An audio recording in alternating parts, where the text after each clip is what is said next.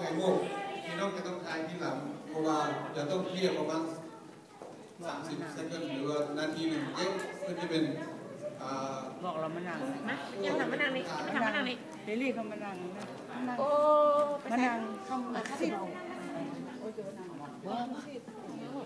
บอกเขามานั่งใช่ไหม